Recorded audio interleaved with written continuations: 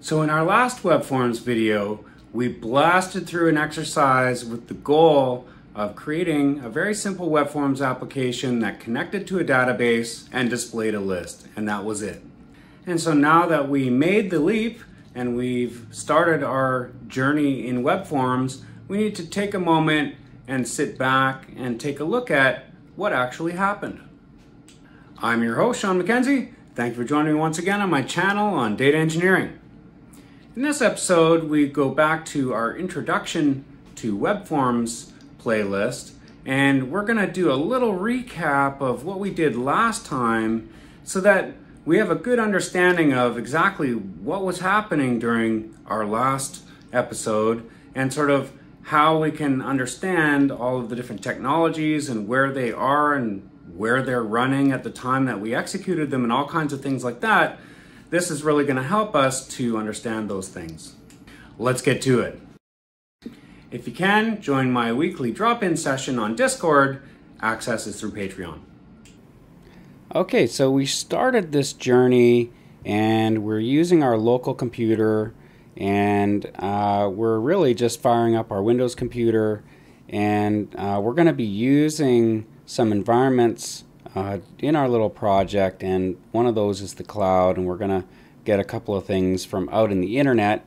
And uh, the first place that we went was to the Microsoft website, and uh, we took a look at uh, how to download Visual Studio uh, into our computer and install it uh, with some options that you can see on my downloads page. I did miss that during the video.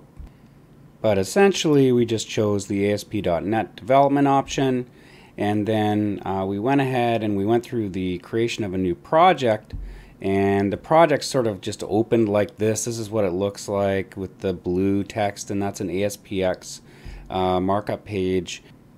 And what you see here is the auto-generated content for sort of like an empty shell of an application that has a couple of forms in it. So it's all auto-generated. We didn't do any programming yet. And uh, what we did was we took a quick look around and saw that we had some uh, ASPX pages, which are our forms. And we also have some, some other um, site master pages and things like that, which we kind of explored. But the intent was really just to get started with this blank application to see what it looks like.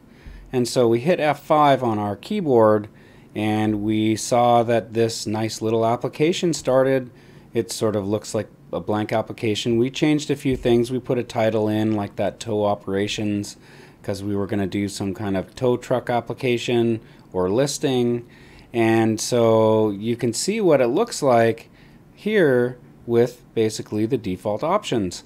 And that's pretty cool. It runs on a little IIS Express server that your computer starts automatically using Visual Studio and it runs all locally on your computer without any connections to the internet. And so the next thing we needed to do was to create a database. And in order to create a database in the cloud, uh, what we needed to do was connect to Microsoft Azure in order to create an Azure SQL database that we could connect to with our application.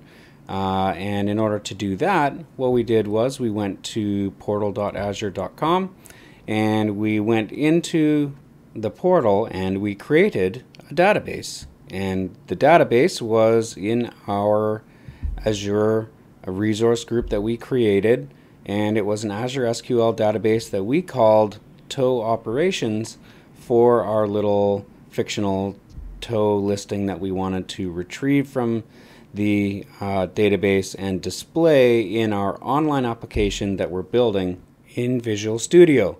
But before we can design our database, we need to download another tool from Microsoft, and that is the SQL Server Management Studio, which is great for SQL servers or Azure SQL databases, which are in the cloud.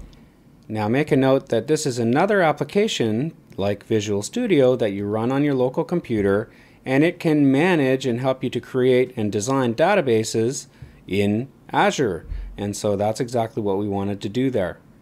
And so what we did was we learned how to connect our SQL Server Management Studio to our database, which is in Azure.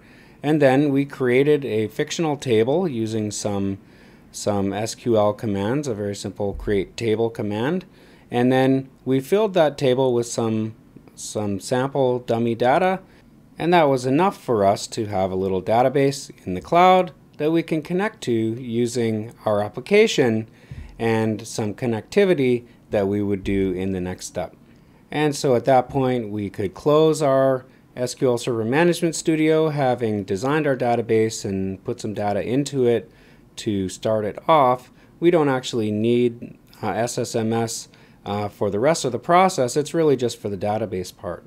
And so that brought us back to our little application that we had created as the default application. We didn't do any programming at this point. Um, and we decided to do a little bit of code behind uh, programming, just like we see in our other applications that are event driven, like Microsoft Access. And in this case, we had a page load event, which is similar to a form load event in Microsoft Access. And what we did was we did a little bit of VB coding to connect to our little database in Azure and get a list and then display it in our application. But at this point, everything is still running on our local computer. We have a little web server that's for development that's running and it's showing us our our application and it's connecting out to Azure in order to get some data, but it's all running very locally and we need to do a few configuration and, and uh, deployment activities in order to put our application into the cloud. And the way that we could tell that it's still running locally on our computer is by looking in the address bar at the top of our browser that pops up and it has that local host address in there with some random uh, port assignment and it's basically uh, showing you that it's running locally and it's running the application but it's all still local and it's really great for development because you can make a few changes and then rerun it and then make a few changes and rerun it but it's all running locally. And uh, when you're finally done with all of your changes, that's when you want to publish it out into Azure. And so you must be wondering, well, where do I publish it in Azure? And the answer is you publish it into app services. So we're going to go back to our browser. We went back to portal.azure.com and we chose app services, which is where we can put our application. And so app services has that nice little a world icon on it there. And so uh, that's where you can put your application and you, you can publish it directly from Visual Studio so long as you're logged into Visual Studio with the same account that you're using to do your portal uh, activities or uh, another login that has permissions to do so. And so having completed the completion of our app service application, uh, with no application published to it yet. Uh, we returned to our Visual Studio, and that's where we did our publishing of our application uh, directly into our app service that we had created. And so at that point, all we really have to do is open a browser and go to the web address that we had chosen for our application. And during our setup, we configured security, and so we were prompted for our login at the time that we opened our app. And then once we opened our app, we had our nice little application running with the web address that we had chosen, connecting to our Azure database just like we wanted, all nice and secure and ready to go. And now we're set up nicely for future episodes where we're going to create all kinds of controls, do all kinds of neat little development tricks, and lots of other cool stuff.